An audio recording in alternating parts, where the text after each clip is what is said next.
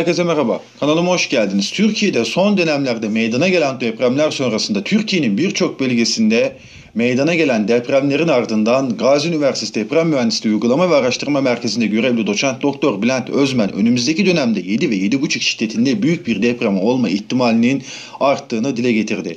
Yapılan açıklamada ise doktor Bülent Özmen Marmara Denizi'nde bulunan fay hattı ile ilgili çok sayıda çalışma yapıldığını özellikle Marmara Denizi'nin altında fay hatlarıyla geçmişte olan depremlerle ilgili bilgilerin bugün gün yüzüne çıkmaya başladığını söyledi. Kuzey Anadolu fay hattının Marmara Denizi içinde kolları ayırarak Çanakkale'den Ege Denizi'ne doğru indiğini belirten Özmen biz orada oluşan tarihsel dönemlere deprem dönemdeki depremlere baktığımızda Silivri'nin 15-20 kilometre açığından geçen Kumburgaz segmenti diye isimlendirilen bir fay hattı olduğunu görüyoruz. Burada 7-7,5 büyüklüğüne varacak büyüklükte deprem olma ihtimalinin her geçen gün arttığını söyleyebiliriz. O bölge levha hareketine bağlı olarak yılda 2,5 santimetre kaymaya zorlanıyor ve geçmiş yıllardan günümüze kadar üzerinden geçen bu kadar zaman aralığı içinde İstanbul'da deprem olma ihtimali her geçen gün artıyor ve yükseliyor dedi. Ankara ve çevresi pay hatları her zaman inceliklerini belirten doçent doktor Özmen eskiden beri buna bilim insanları dahil olmak üzere Ankara çevresi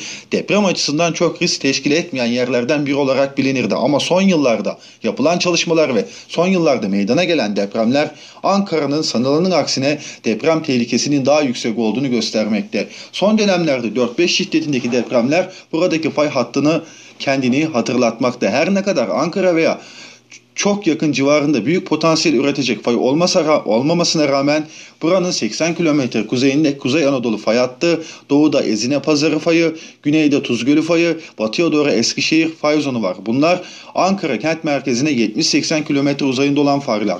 Bunların da 7 ve daha üstü deprem üretme potansiyelinin olduğunu bilmekteyiz maalesef. Dolayısıyla eğer bu büyüklükteki depremler olursa Ankara'nın da bu depremlerden etkilenme şansı maalesef yüksek. Ankara'nın çevresi de büyük deprem üretme potansiyeli olan faylarla çevrili olduğu için başkentin deprem tehlikesi sanılanın aksine daha daha yüksek olduğunu söyleyebiliriz dedi yaptığı açıklamalarda. Akdeniz'de İzmir bölgesinde özellikle son yaşanan depremlere artçılara dikkat alaraktan burada da 7'ye yakın şiddetli depremler üretme potansiyeline sahip maalesef faylar var. Burada sıklıkça zaten artçılar meydana gelmekte dedi. Ege'de, Muğla, Kuşadası taraflarında özellikle Fethiye taraflarında ciddi derecede deprem üretme potansiyeline sahip fayların olduğunu, buradaki levhaların birleşirse şiddetli 7 ve üzeri depremlerin meydana gelebileceği konusunda vatandaşlara uyarılarda bulundu. Konuyla alakalı yorumlar sizin sonraki videolarda görüşmek dileğiyle. Şimdilik hoşçakalın.